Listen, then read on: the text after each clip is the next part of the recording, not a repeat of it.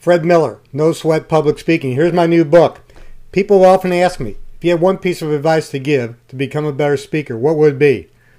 Okay, I've got the answer. You ready? Got something to write on? Speak! Speak, speak, speak.